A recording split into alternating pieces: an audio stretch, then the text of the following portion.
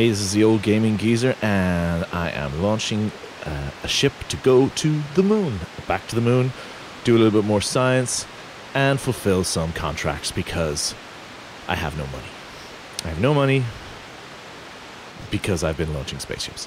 So, what I'm trying to do here, um, this is a very standard uh, uh, moon launcher. I've launched several of them before. Just going to the moon, going to pick up some science, plant a flag, which I have to do to get some cash, and then come back. Now, in about 14 days in game time, I have a Duna window, so I figure I am going to head for Duna. Problem is, I don't have the money to head for Duna, so hence I have to do some contracts to build up some cash because I have none. Well, I have enough, but not very much. So as you can see, I just dropped my uh, external boosters there. A very standard launch, getting this into orbit. Uh, there's nothing crazy going on here at all. There I am, setting up my uh, orbital insertion burn, and it's quite a long one, so I have to start burning immediately. And we're getting into the, to the Kerbin orbit. This is a quite a long little ship. Um, I'm trying to go cheap here. As cheap as I can because I have no money. um, now, I started hearing some, some uh, started reading on the, the Kerbal Space Program forums about a mod uh, called um, Stage Recovery, I think it was. Stage Recovery. And I started reading up on it, and I didn't really seem to be. It kind of was giving me what I wanted, but not really sure if it was going to work for me. And what this uh, what this plugin does is it allows you to recover spent stages if you add parachutes to them. And I wasn't really sure. I, don't know. I didn't like it. It's something about it I didn't like. But then uh, the other day I saw another one that just was released called uh, Refund. Deb, sorry, Deb, Deb Refund, as in debris fund refund. And all you got to do is add some parachutes to your spent stages, the stages that are going to be dropped, and it will automatically give you the the the, the when you drop them, it will give you the the money for the parts, less the fuel, obviously, and it informs you of when it happens uh, in the top right hand corner, the the new notification window in the game. Now, I don't haven't installed this yet at this point because, well, I hadn't realized that I could do this. Uh, so here I am. I'm going into the moon now. Um, now entering the moon's sphere of influence and going to bring it around and get ready to start slowing down. Oh, I just dropped my uh, stage there, let it crash into the moon. Um, because I don't need it anymore, basically. So there I am, getting a nice low uh, Lunar Pass, so and then setting up my orbital burn. There we go, orbital burn set up. And now we're coming into the moon, closing in, getting our into position for our orbital burn, and any any second now, here we go, burning for the moon. This is going to put us in a nice, nice little orbit around the moon. Now, I'm aiming for a place on the moon that I have never been to before so I can gain some science and plant a flag, mostly to gain some science. And so I'm looking at the southwest crater. I get uh, Jeb out to do a little uh, flying over the uh, surface of the moon science. Luckily, I'm flying over an area where I've never been before. Uh, and I decide to transmit that data so I don't have to worry about it anymore. All looking good. And just quickly checking my power there. I can't remember if I have enough power on this thing. So now I am going to be setting up to get to the southwest crater. There I am setting up a maneuver node. Adjusting it about manlying in my orbit so I can get down into that crater. Um, and now, spinning my ship around to get ready to do my burn. Setting up an alarm clock for it. And uh, we're time accelerating past now. We're getting close. Um, I've already done my burn, and now I am coming in over the surface. I'm now coming right over the crater where I'm supposed to be, the southwest crater, and burning to slow myself down. Luckily, I still have my transfer stage, which I didn't actually need, but uh, it means I have plenty of fuel to do this. There's no no issues of fuel on this trip. Uh, Jeb just got out there and did another quick flying over the surface of the moon science. So slowing down quite nicely.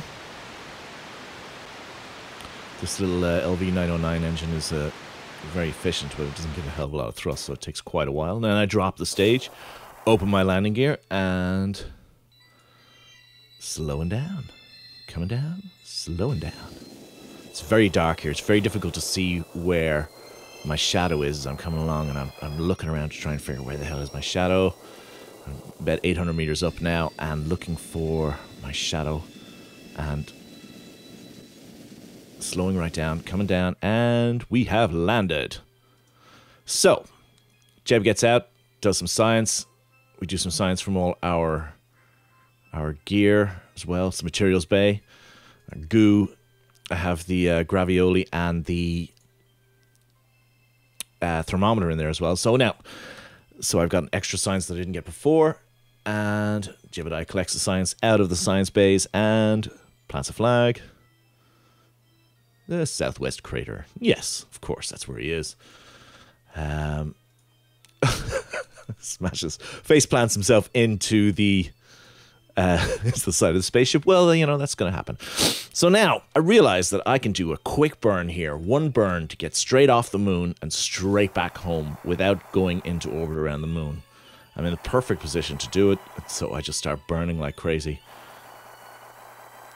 Rising up over the surface of the moon, the dark and dusty surface of the southwest crater, with all of its hundreds of thousands of tiny little craters within the huge big crater.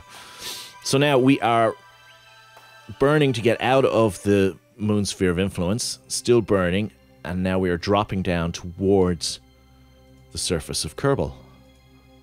Doing a little bit more science, seeing can I do a little bit more science, but unfortunately not. Um,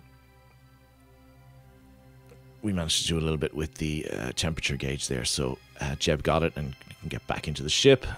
I'm setting up a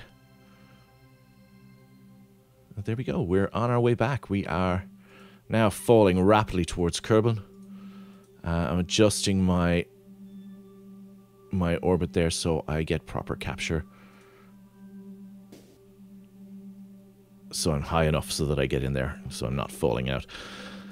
And we're coming in. As what a beautiful shot. We're coming in. Jeb does a little burn, slow himself down. I was actually trying to land on the land here because I actually want to recover as much of this spaceship as possible. But because I'm coming in over those mountains, I'm not really too happy about that. But it doesn't matter. We're going to hit in the water anyway, as I realized. But I still burned to slow myself down. Um, and now we're getting the atmospheric effects. And I'm going to try and put this down as softly as I can in the water. So I've saved quite a bit of fuel for this. Deploying my chute. We're coming down. Whoa. Now, remembering what happened with my uh, shuttle test, I do not want to hit the water too hard. Even though that time I was trying to get the shuttle down without without damaging it, and I failed miserably. This time, I'm going to basically kiss the water as lightly as possible, and I'm going to start burning my engines, slowing myself down, and perfect. Perfect. Yes! Success. Success. So I got um, a few ribbons now for for Jebediah, um, and got a load of science, uh, got a load of parts back, and very happy. Um, so now I have cash, cash to spare. So next we are launching. This is the transfer ship that's going to bring our guys to Duna, and this is the first time I'm using those large NASA engine clusters. I've never used them before, and I am delighted they just blast out a huge amount of thrust. Love them, love them. So this ship is going to carry two small landers, well, one large lander and one small lander out to Duna. Uh, the large lander is going to actually land on Duna, and the small lander is going to land on Ike because I have a contract to explore Duna and explore Ike. So, uh, I'm going to send up the landers in separate flights.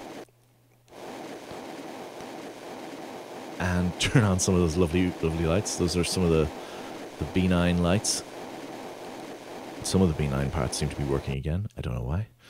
So now we're getting up there, and this these uh, NASA engines they're they're bloody great. I've got so much fuel in this thing. I don't even need to drop it. I figured that I would need to drop this uh, stage long ago, but no, I've got it. Um, I have a stage there was supposed to put me into orbit, which I haven't even used yet, and it's just fantastic. Love this, and the rocket is enormous as well. It's one of the five, five is it five meter diameter rockets? I can't remember. Who knows? Who knows? Who knows? Who knows? And we're burning, and we have there we are, camera flipped, and we are in orbit. I'm just adjusting it just to make sure we're got a good um, a good orbit there. Now we've got some fuel left in this launch stage, so I figure hold on to this? I could use this to get out to to Duna.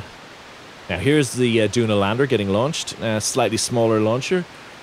Uh, and you'll notice that across the top of the stages there, there is parachutes. Now, I've started to use the Deb refund mod in this. I'm gonna, and this is the first time I used it. I did do a quick test on it, and it seemed to work fine.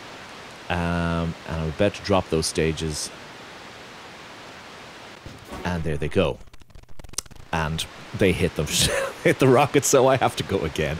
Oops, that was a simulation. It was a test flight. It was, uh, you know, we had to make some adjustments. I had to add some Separatrons so that the the side boosters would move away from the main rocket. Um, you know, it's all about uh, you know experimentation. Experimentation. There was a, an unplanned disassembly, but luckily the unplanned disassembly happened in a simulation, and the proper regular launch there was no unplanned disassembly. It was all it was all supposed to happen. It all happened perfectly, perfectly. and so now we have our Duna lander is uh, trying to get up into uh, orbit here. I'm hoping. This is pretty much a guess. I'm, I'm going to tell you that Duna lander. I'm hoping has enough delta V to get up off the surface of Duna and back into the atmosphere. Pretty sure it will. Um, pretty sure it will. I'm using a kind of an asparagus stage thing. Oh, there we go. There's my uh, report that my stages got returned. The two stages that I dropped. Excellent. And the main central launcher there also has the parachute, so I need to get myself into almost into orbit with this and then drop it and switch to the smaller engine that I've got on the back. And there's me checking my orbit. I drop it and fire off my little LV909 just to push myself finally into a safe orbit. Um, and that big launch stage will travel all the way around the planet, get caught again by the atmosphere, and drop down, and hopefully I will get some funds, recovery funds. And so I'm very pleased with that with that mod because it means that I, it's not going to be terrible. So I don't have enough money actually to launch the uh, next stage, the second lander, uh, because I wanted to launch it in the Kablamo. I wanted to send up my shuttle with it in the back because that is probably the most cost effective way of doing it. But I do not have the money to actually launch it, even though I will get 90% of the money back. So I'm looking around to see what kind of um, science I can do. And I see a cool one um, to test one of the engines, but the the the parameters of the test are crazy. So I have to build this crazy rocket here that fails. Uh, I have to just launch the test the T45 engine at a, at a specific speed, really fast, at a very low altitude. Um, I've been tried. I did about 10 or 15 attempts at this, and I just could not get it to work. Um, as you can see, I was going way too slow there. I had to be going at like 400 meters per second when I tested the engine between like, you know, 1500 meters altitude and 3000 meters altitude. So it was just, it was not happening. I could not do it. I tried and I tried and I tried and I just. I'm going to try again later. So I need money. So we're going back to the moon. So this is the uh, Kerfuffle 10, I think. Uh, and she's on her way out to the moon. It's a very similar launch to the first launch we saw. In fact, it's exactly the same ship. Except it has parachutes so I can get all those pieces back. using the Deb Refund mod. So up into orbit, I'm not going to show you the entire flight again, dropping our second stage. Uh, for some reason, this uh, spent a lot, took a lot more fuel to get it into orbit, but you know, we made it. By the time I was on this stage, I was already in lunar orbit. So before, um, so I don't know, maybe my launch profile was was was a bit crappy. So there I am setting up, uh, setting up my maneuver nodes, adjusting it, manlying my uh, my trajectory so that it's exactly the way I want it, and then trying not to screw it up when I burn, which. Uh, Luckily, I didn't, so excellent. I got it in a nice low altitude there. Well, not that low, but low enough for what I want to do. So I need to go back to the moon and plant another flag. That's what this mission is, uh, to get a little cash. And there's a couple of places I still haven't been to on the moon. Now, however, I actually stopped recording. Um, uh, the, well, the recording failed uh, when I was coming to land, and it didn't really work. As you can see, I crashed. I crashed and destroyed the ship. So Lemuel is now stuck on the moon, all alone. Uh, we've got four days now to go before my Duna window. and Lemuel is stuck on the moon. I need to mount a rescue mission. I need to get him home. Uh, I need to do it as cheaply as possible. and I need to do it quickly uh, because I want the science and I want the money. I want everything. but we'll see that in the next episode. This is the old gaming geezer. I'm going to sign off for now. Uh, if you like this video, hit like below. If you like it a lot, hey, maybe even subscribe. Good night. Farewell.